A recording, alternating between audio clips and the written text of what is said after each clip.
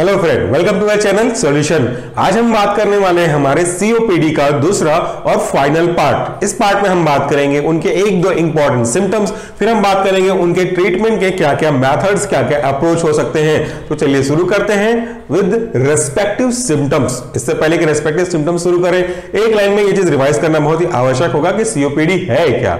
COPD मतलब होता है क्रॉनिक ऑब्स्ट्रक्टिव पल्मोनरी डिज़ीज़ या पल्मोनरी डिसऑर्डर ये एक ऐसा कंडीशन है जहाँ पे हमारा जो रेस्पायरेटरी ट्रैक्ट है वो किसी न किसी कारण से कॉन्स्ट्रिक्ट हो जाता है और इसके कॉन्स्ट्रिक्ट होने की वजह से हमारे जो एयर के पासेज है, यानी कि इनहेलेशन है और एक्सलेशन है, ये तकलीफ़ पूर्ण हो जाती है। और ऐसे कंडीशंस में जो सिम्टम होंगे, वो आप समझ सकते हैं कि क्या क्या होंगे।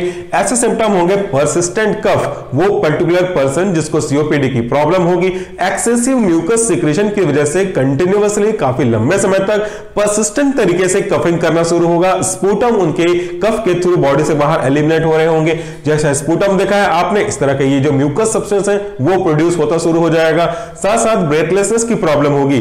अब चूँकि ये जो कंडीशंस है, ये हमारे रेस्पिरेटरी ट्रैक का प्रॉब्लम है डिज़ीज़ है, या कह लीजिए डिसऑर्डर है तो इनमें इन तरह की एबनॉर्मेलिटी डेवलप हो जाने की वजह से इनका जो एक्चुअल काम था इनहेल एक्सेल का, जिसकी वजह से हमारा रेस्पिरेटरी सिस्टम काम करता, अब वो कहीं ना कहीं अफेक्ट हो रहा है। इसी की वजह से पर्याप्त मात्रा में ऑक्सीजन की एंट्री नहीं हो पा रही है, और उस कंडीशन में जो उस पर्टिकुलर पर्सन को, या पेशेंट को ब्रेथलेसनेस यानी कि सांस लेने में कमी, एक घबराहट, जिसको हम साधारण भाषा में कह सकते हैं छाती में दर्द होने जैसा सिम्टम्स उनको फील करना शुरू हो जाएगा। साथ साथ इनके जो कुछ और फीचर्स हैं, वो बिल्कुल मैच करेंगे आपके अस्थमा के कंडीशन से, जैसा पिछले वीडियो में हमने देखा था। ये अस्थमा के सिम्टम हो सकते हैं। इनमें broncho constriction excessive mucus plugging breathlessness chest pain chest tightness plugging ये चीज़ें आपने देखी, बिल्कुल वैसा भी सिम्टम इनके पास भी हो सकता है रिसेंबल्स कर सकते हैं। अस्थमा के साथ साथ दूसरे जो प्रॉब्लम है, आपके रेस्पिरेटरी सिस्टम के, जैसे कि ब्रोंकाइटिस ब्रोंकिया का इन्फ्लामेशन हो जाना, इनके भी सिम्टम जो होंगे, वो बिल्कुल सेम टू सेम यहाँ भी देखने को मिल सकते हैं। और साथ साथ जो ट्यूबरक्लोसिस की प्रॉब्लम होती है, जिसका मुख्य कारण होते हैं माइक्रोबैक्टीरियम ट्यूबरक्लोसिस उस टीबी में जो सिम्टम्स हमको देखने को मिलेंगे, एक दो स्पेसिफिकली स्पेशलाइज्ड टू टीबी उनको छोड़ दिया अगर, जैसे कि ब्लीडिंग हो जाना या नाइट में स्वेटिंग करना, इन दो कॉमन सिम्टम्स को छोड़ दें जो कि स्पेसिफिकली एंड एक्सक्लूसिवली टीबी के लिए होते हैं। तो उनके अलावा जो chest pain tightness hardness breathlessness ये चीज़ भी आपको रिसेंबल करती हुई नज़र आएँगी आपके सीओपीडी के साथ। तो अब हम बात करने वाले हैं इनके ट्रीटमेंट अप्रोच की। बहुत ही कॉमन चीज़ें हैं, जैसे आपने अस्थमा में देखा, जब ये रेस्पिरेटरी ट्रैक के ऑब्स्ट्रक्शन की वजह से प्रॉब्लम हो रहे हैं तो हमको अगर किसी तरीके से इन ऑब्स्ट्रक्शन को कम कर दें तो आप उनकी प्रॉब्लम को रिजॉल्व कर सकते हैं। लेकिन एक बात यहाँ पर दोबारा रिवाइज करना बहुत ही आवश्यक है कि दिस प्रोसेस इज़ इरिवर्सिबल यानी कि जैसे हम लोग अस्थमा के केस में इनको वापस रिस्टोर कर सकते थे, वैसे रिस्टोर नहीं कर सकते हैं। इनको कंटिन्यूसली उस एक सह सकने वाली योगी कंडीशन में हमको मेंटेन करके रखना पड़ेगा। तो चलिए, अब हम देखें उनकी स्टेप बाय स्टेप स्ट्रेटेजी को कि कैसे सीओपीडी की प्रॉब्लम को कम किया जा सकता है। सबसे पहला है इनहेल्ड ब्रोंको डायलेटर ये आप पढ़ चुके हैं तो हम ज़्यादा डिटेल पे नहीं जाएँगे, बस एक बार ब्रीफिंग में टच करेंगे। इनहेल्ड ब्रोंकोडाइलेटर कहने का मतलब है ऐसे एजेंट जो कि ब्रोंकोडाइलेटर है। ब्रोंकोडाइलेटर मतलब ब्रोंकिया को डायलेट करने वाले एजेंट हैं और इनको हम इनहेलेशन रूट से लेते हैं। तो ऐसे ही कैटेगरी के ड्रग या एजेंट को हम कहते हैं। इनहेल्ड ब्रोंको डायलेटर ये जब इनको इनहेल किया जाएगा तो इनकी खास एक्टिविटी होगी बीटा टू सिंपैथोमाइमेटिक इनके एक्टिविटी के थ्रू ये हमारे ब्रोंकियल ट्रैक को ट्रैकियो ब्रोंकियल पार्ट को डायलेट करना शुरू कर देंगे।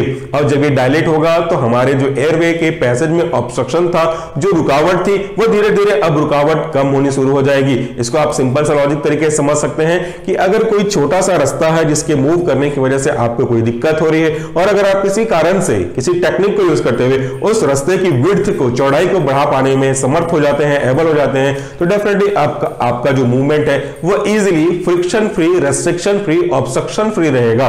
बिल्कुल सेम प्रिंसिपल हम यहाँ पर भी अप्लाई कर सकते हैं कि अगर मैं ब्रोंको डायल्टर यूज़ करूँ तो जो ब्रोंको कॉन्स्ट्रिक्शन हुआ था सीओपीडी केस में, पिछले वीडियो में भी आपने देखा, उसको आप रिजॉल्व कर सकते हैं। और इस कैटेगरी के लिए हम यूज़ करते हैं वो ड्रग है बीटा टू सिंपेथोमाइमेटिक और एंटी कोलिनर्जिक ड्रग चलिए आगे बढ़ते हैं, हम बात करने वाले हैं इनहेल्ड ग्लूकोकोर्टिकॉइड्स की। तो ये भी हमने डिस्कस किया था कि जो हमारे ग्लूकोकोर्टिकॉइड्स हैं, ये बहुत ही इंपॉर्टेंट होते हैं इंफ्लामेशन की प्रॉब्लम को ठीक करने में। साथ ही साथ अगर मैं बात करता हूँ ग्लूकोकोर्टिकॉइड्स की अदर एग्जांपल की तो इनमें इंफ्लामेशन के साथ साथ इम्यूनो सप्रेशन की एक्टिविटी भी होती है।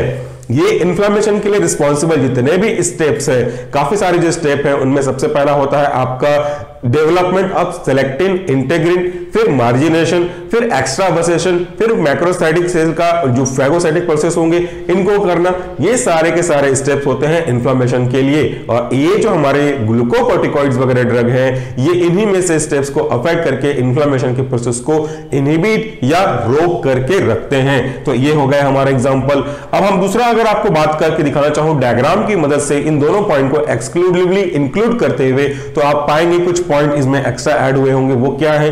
ये है हमारे ब्रोंकिया अब अगर इस ब्रोंकिया में किसी कारण से ये कॉन्स्ट्रिक्शन हो गया है, या ऑब्स्ट्रक्शन हो गया है this condition is known as a broncho constriction देखिए कॉन्स्ट्रिक्शन का ये जो पार्ट है वो आप देख सकते हैं। इसके कारण से हमारे एयर के पैसेज में दिक्कत होगी प्रॉपर ए का वेंटिलेशन नहीं हो पाएगा। अगर इन्हीं कंडीशन को ठीक करने के लिए मैं ब्रोंको डायलेटर ले लेता हूँ, जो कि यहाँ पे कॉन्स्ट्रक्शन हुआ है तो इनके इफ़ेक्ट को ऑपोजिट नेलीफाई करने के लिए मैं अगर डायलेटर लेता हूँ तो ये जो ब्रोंको डायलेटर है, अब यहाँ पे देखिए, दोनों में कंपेयर करेंगे तो इनको डायलेट करके विडिथ वाइट को, इनकी विड्थ को बढ़ा दे रहे हैं हमारे ब्रोंकिया के। इसकी वजह से हमारे जो ऑक्सीजन है इनका मूवमेंट बड़ी फ्रीली से हो रहा है। ऑक्सीजन बड़ी आसानी से मूव कर सकते हैं। रिस्पायरेटरी ट्रैक के थ्रू होते हुए हमारे लंग्स तक, हमारे पल्मोनरी सिस्टम तक। साथ साथ अगर इनके सराउंडिंग में जो आपके बैक्टीरिया की कॉलोनी दिख रही है, जिसको आप आगे पॉइंट्स में देखने वाले हैं, इन बैक्टीरिया की कॉलोनी की वजह से भी आपके जो सीओपीडी की म्यूकस प्लगिंग या जो इन्फ्लामेशन की पॉसिबिलिटीज है, वो ट्रिगर अप हो सकती है। It is not exact cause but ये जो है इन्फेक्शन बैक्टीरिया के वायरस के, वो उनको ट्रिगर कर सकते हैं। उनके अकरेंस को फोल्ड बढ़ा सकते हैं। तो ऐसे केस में हम इनकी बैक्टीरिया की ग्रोथ को एलिमिनेट करने के लिए एंटीबायोटिक को यूज़ करते हैं तो जिसको आप थोड़ी देर में देखेंगे भी। ये प्रोफाइलैक्सिस ऑफ़ ट्रीटमेंट हो गई, यानी कि उनके प्रोग्रेशन को, उनके बढ़ने के चांसेस को हम कंट्रोल कर रहे हैं स्टॉप कर रहे हैं। तो चलिए आगे बात करते हैं, जो नेक्स्ट ट्रीटमेंट का मेथोडोलॉजी है, वो कहता है ऑक्सीजन इनहेलेशन ये क्या हुआ? अब चूँकि आपने इस वाले डायग्राम से यह देखा कि ब्रोंको कॉन्स्ट्रक्शन होने की वजह से जो एयर की क्वालिटी और एयर का जो मूवमेंट का वॉल्यूम था, वो सफिशियंट नहीं था और इसी की वजह से हमको ब्रेथलेसनेस की प्रॉब्लम देखने को मिली। तो अगर हम एक आर्टिफिशियल मीडियम से ऑक्सीजन को प्रोड्यूस करा दें ऑक्सीजन को इनहेल करवा दें वाया मास्क तो हम ऑक्सीजन की अवेलेबिलिटी को ज़्यादा अच्छे तरीके से इंश्योर कर सकते हैं और जो ब्रेथलेस की प्रॉब्लम है वो सिम्टोमेटिक तरीके से कंट्रोल में कर सकते हैं। तो ऑक्सीजन को भी सप्लाई करना एक मेंटेन करने का एक उपाय हो सकता है but it is not a treatment दूसरा करें अगर हम बात करें तो प्रोफाइलेटिक एंटीबायोटिक एंटीबायोटिक का मतलब जानते हैं, कुछ दिनों में हम इसके पूरे एक्सक्लूसिव वीडियो भी अपलोड करने वाले हैं। एंटीबायोटिक कहने का मतलब है एंटी प्लस बायोटिक, यानी कि ऐसे ड्रग जो कि माइक्रो ऑर्गेनिज्म के ग्रोथ को या तो स्टॉप करके कंट्रोल करेंगे, या तो इनको कंप्लीटली इरेडिकेट करके अपना असर दिखाएँगे। यानी कि बैक्टीरियोस्टैटिक और बैक्टीरियोसिडल के तरीके से आपके बॉडी के किसी भी पर्टिकुलर पार्ट में प्रेजेंट माइक्रो ऑर्गेनिज्म की ससेप्टेबिलिटी को बिल्कुल खत्म कर देंगे। अगर हम बात करेंगे बैक्टीरियोसिडल की केस में तो इस तरीके से ये बैक्टीरिया की जनरेट होने वाले इंफेक्शन की वजह से आपको क्योर करेंगे। अगर इनमें चांसेस हैं वायरल के केस में तो हम एंटीवायरल थेरेपी को भी इंक्लूड कर सकते हैं। ये प्रोफाइलैक्सिस है, यानी कि इनके बढ़ने को हम कंट्रोल करना चाह रहे हैं, ताकि इन इन्फेक्शन की वजह से जो एक साइमल्टेनियसली ट्रिगरिंग इफ़ेक्ट दिख रहा है हमारे सीओपीडी में, इसको मेंटेन रेगुलेट और कम करके रखा जा सके। अगर मैं इनके बारे में बात करता हूँ तो एक इंपॉर्टेंट पॉइंट देख लीजिए। विद इन या वेन ट्रिगर्ड बाय देखिए, ये लाइन इंपॉर्टेंट है ट्रिगर ट्रिगरिंग करना मतलब उसको उत्तेजित करना, उसको बढ़ा देना। अगर ये जो सीओपीडी की प्रॉब्लम है, वो ट्रिगर्ड होता है बैक्टीरिया या वायरस के द्वारा तो हम इसको यूज़ कर सकते हैं। अब कौन कौन से बैक्टीरिया या वायरस इनके अंदर इंक्लूड है? तो एग्ज़ाम्पल के लिए देख लीजिए, ये काफ़ी इंपॉर्टेंट हो सकता है आपका। यह है रीनो वायरस कोरोना वायरस और अनफॉर्चुनेटली जब हम इस वीडियो को बना रहे हैं, तब आपके आसपास, आपकी जानकारी में कोरोना वायरस के बारे में बहुत सारे न्यूज़ आप देखने को पा रहे होंगे। काफ़ी सारे इनके जो संक्रमण है, इनके इन्फेक्शन है, इनके कम्युनिकेशन है, वो ज़्यादा बढ़ रहे हैं। तो इस तरह के इन स्पीसीज के जितने भी बैक्टीरिया है वायरस है, वो ऑलरेडी आपके सीओपीडी की प्रॉब्लम जो की हो चुकी है, इनको ट्रिगर करके इनकी कंडीशन को और ज़्यादा खराब करने का काम कर रहे होंगे। तो अगर मैं इनकी वजह से हो सकने वाले, बढ़ सकने वाले प्रॉब्लम को कंट्रोल कर दूँ तो वो कहलाएगा प्रोफाइलेक्टिक ट्रीटमेंट बाय एंटीबायोटिक साथ साथ अगर आप दूसरे एग्ज़ाम्पल की बात करते हैं तो इन्फ्लुएंजा वायरस इसके बारे में भी आपने कुछ समय पहले सुना होगा H virus influenza virus swine flu virus इस तरीके से कई सारे माइक्रो हो सकते हैं आइदर बैक्टीरिया और वायरस जो कि इस प्रोफाइलैक्टिक कंडीशंस को बढ़ाने में मदद करेंगे। तो हम इनको रोक करके प्रॉब्लम को एज इट इज़ या इनको अंडर कंट्रोल में लाने की कोशिश करते हैं। अगर मैं एक इंपॉर्टेंट नोट की बात करूँ इस टॉपिक को लेकर के तो ये क्या कहता है? इन सीओपीडी यानी कि क्रॉनिक ऑब्स्ट्रक्टिव पल्मोनरी डिज़ीज़ की कंडीशंस में lung have lower airway bacterial colonization यानी कि एयर का जो पासेज है, जो एयरवे के पैसेज है इनके लोअर पार्ट में बैक्टीरियल कॉलोनाइजेशन होना शुरू होता है, यानी कि बैक्टीरिया की कॉलोनीज बननी शुरू हो जाती है।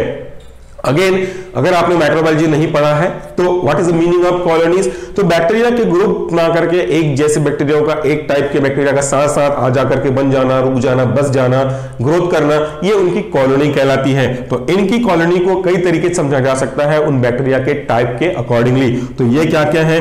ये है हाइमोफिलस इन्फ्लुएंजा स्ट्रेप्टोकोकस न्यूमोनी जैसा कि आपने देखा है निमोनिया की प्रॉब्लम भी डेवलप हो सकते हैं। तो ये जो प्रॉब्लम कर्ज करने वाले बैक्टीरिया हैं, ये सीओपीडी की प्रॉब्लम को और ज़्यादा बढ़ाने में मदद करते हैं।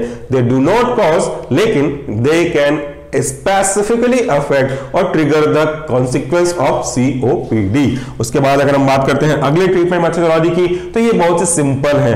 ये है prevention of dehydration sometime it is known that prevention is better than cure तो एक कारण क्या है हमारे सीओपीडी का? कॉन्स्ट्रक्शन होना या इंफेक्शन हो जाना जस्ट बिकॉज़ ऑफ़ माइक्रोऑर्गेनिज्म इनके कारण से फिर ट्रिगर हो जाना।